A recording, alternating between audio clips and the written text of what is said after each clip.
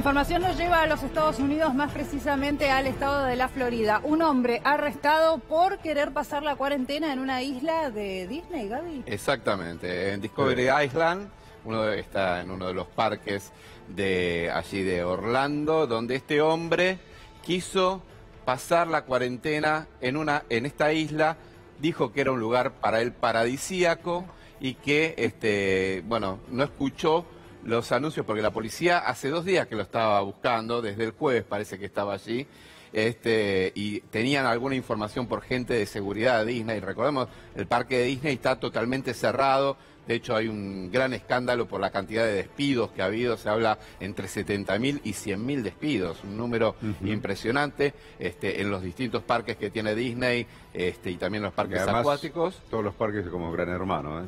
Cámaras por todos lados. Por todos lados, exactamente. Y esta isla, Discovery Island, fue en el pasado un zoológico. ¿no? que ahora está, no funciona como cerros, eh, como zoológico, fue conocida también como la, isla, la isla del tesoro en su momento. Ahora, ¿cómo llegó? ¿Cómo logró bueno, entrar? Seguramente violó, saltó algún cerco. Ustedes saben, a ver, Disney es un mega emprendimiento gigantesco que son cientos y cientos de hectáreas, ¿no? Se supone que pudo haber saltado alguna reja o algo por el estilo y se mandó, este, pero alguien de seguridad lo vio. ¿El qué hizo? Cuando llegó al a, la costa del lago donde está esta isla, se agarró uno de los botes, se fue remando y se, llegó, llegó, hasta la isla. Me parece, me suena que debe ser una persona con algún problema psiquiátrico, ¿no? Se llama Richard McQuire. No, no está claro la edad que tiene, pero este, bueno, la, obviamente fue detenido, fue detenido sin ningún tipo de resistencia, pero lo que decía, todo el fin de semana estuvieron las autoridades hablando por los parlantes. Disney tiene esa característica, también tiene parlantes por todos lados, diciéndole, se tiene que ir, no puede estar ahí, no puede estar ahí, y él dice que no escuchó nada. Claro. ¿No? Que no escuchó nada, que... Bueno, Había mucho ruido, mucha actividad. Sí, seguramente, seguramente. Un vacío absoluto. Así bueno, del vacío absoluto en Disney nos vamos a algunas imágenes que se conocieron este fin de semana del movimiento que hay en el resto de los Estados Unidos, ¿no? Exactamente. Llamó mucho la atención lo que se vivió sobre todo en Nueva York. Mm. Donde justamente en el Central Park y en otras este, plazas y parques se vio mucha, pero mucha gente. Tengamos en cuenta que Nueva York es todavía el epicentro de esta pandemia eh, de coronavirus en los Estados Unidos.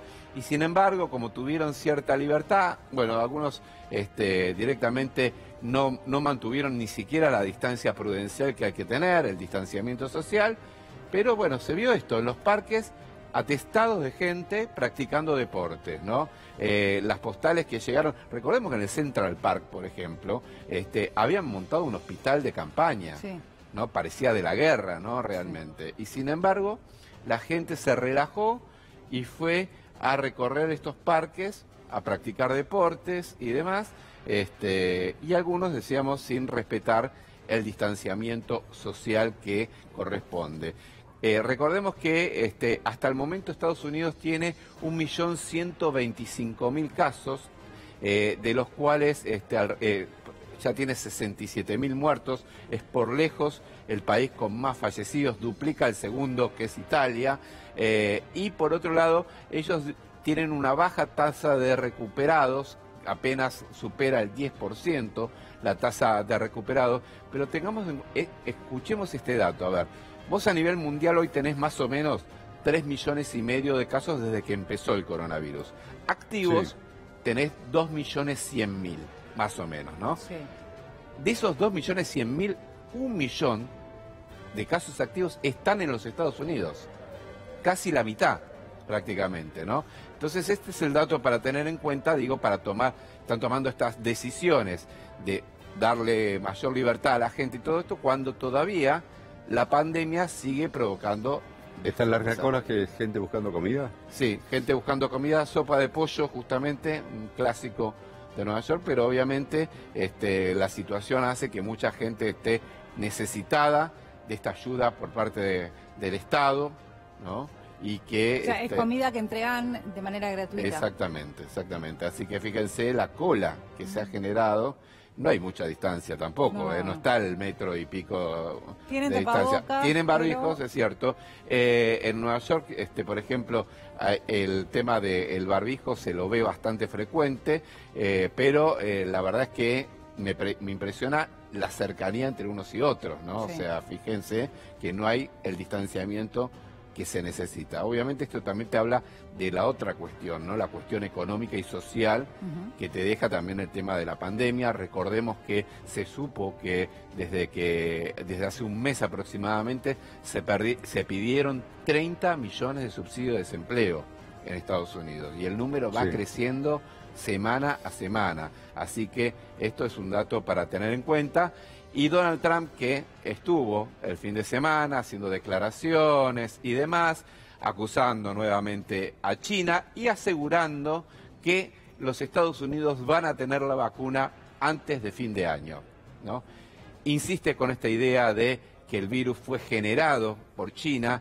Ustedes saben que eh, se conoció un informe de los organismos de inteligencia de Estados Unidos, ¿eh? la Comisión de Inteligencia donde hay gente de la CIA, del FBI, de los lugares más importantes que dicen, este virus no es un virus fabricado, es un virus natural que se pudo haber escapado del laboratorio, pero es un virus natural, no es algo mutado este, artificialmente por el hombre, sino que es algo natural. ¿Qué es lo que dice el No, ámbito científico? El no? infectólogo el otro día en Estados Unidos que cuando un virus es, sale de un laboratorio, tiene señales, tiene marcas y, y evidencias de que sale de un laboratorio. Totalmente. Y este virus, por lo que se ve y se observa a través del microscopio, eh, tiene todas las características de ser un virus natural, digamos. Totalmente, exactamente. Esto lo dice el ámbito científico, pero ahora se lo está diciendo los organismos de inteligencia al propio Donald Trump, señalándole justamente, este, estás equivocado en este tema, después le dejan esta puertita abierta con respecto a, bueno, no sabemos si nos escapó de un laboratorio, ¿no?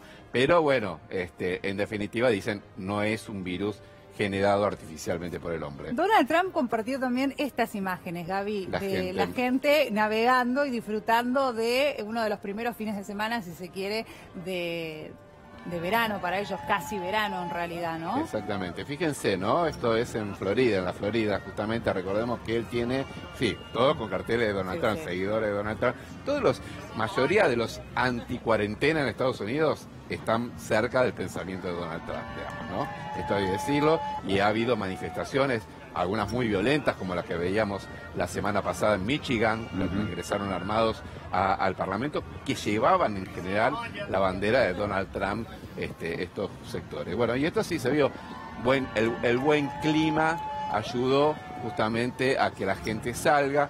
La verdad no fue eh, el invierno que, que acaba de terminar en, en el hemisferio norte, no fue duro en materia climática ni para Europa este, ni para Estados Unidos o eh, América del Norte, sí fue duro en materia de pandemia. Sí. ¿no? Este, si hubiese sido peor, si hubiese habido, este, hay quienes dicen, si hubiese sido más duro el invierno, por ahí la gente salía menos y se exponía menos. Y hay quienes dicen lo contrario, dice, si hubiese sido con temperaturas más frías todavía, sería peor el cuadro. No sabemos, esto es contrafáctico esto, ¿no?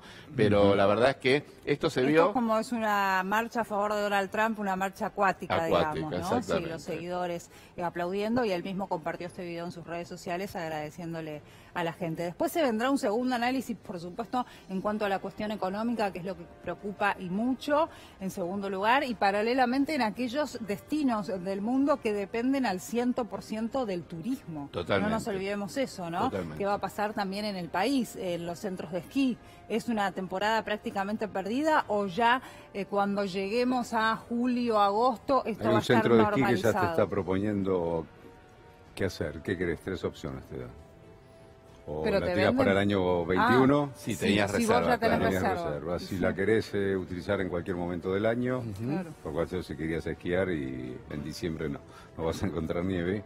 O la otra te dicen, bueno, se lo podemos devolver siempre y cuando consigamos el crédito que estamos tramitando para... O sea, Claro.